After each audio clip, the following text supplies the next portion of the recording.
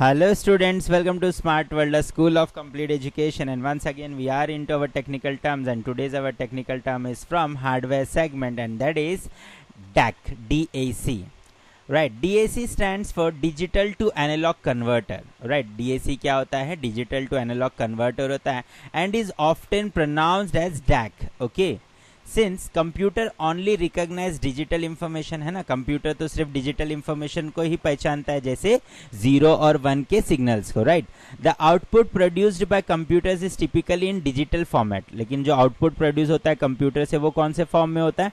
Digital format पे होता है मतलब जीरोज और वन के लैंग्वेज में होता है। However some output devices only accept analogue input लेकिन कोई कोई जो आउटपुट डिवाइसेस है, वो सिर्फ़ एनालॉग जो है सिग्नल्स को ही एक्सेप्ट करता है। अब एनालॉग मतलब क्या होता है? करंट है ना? जैसे टेलीफोन लाइन में करंट फ्लो होता है, उसे एनालॉग सिग्नल्स कहते हैं।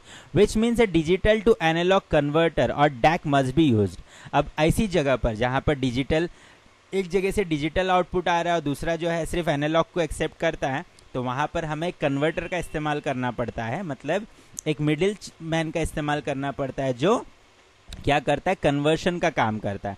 The most common right use of the DAC is to convert digital audio to an analogue signal है ना? जो डिजिटल ऑडियो आता है उसे एनालॉग में कन्वर्ट करने के लिए बहुत ज़्यादा इसका इस्तेमाल होता है। This conversion typically takes place in the sound card जो साउंड कार्ड होता है ना आपका मदरबोर्ड पे राइट right, उसमें ये ज़्यादा यूज़ होता है। Which has a built in DAC ठीक है, उसके ऊपर ऑटोमेटिकली बिल्ट इन डैक रहता है।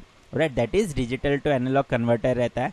The digital signal which is basically a stream of one and zeros right digital का मतलब क्या होता है? जैसे मैं अभी तक बोल रहा था वन और जीरोस के जो सिग्नल्स रहते हैं is transferred into an analogue signal that may take the form of an electrical charge right analogue का मतलब होता है इलेक्ट्रिकल चार्ज जैसे आप टेलीफोन लाइन में छोटा सा करंट जैसे फ्लो होता है ना, वो एनालॉग होता है।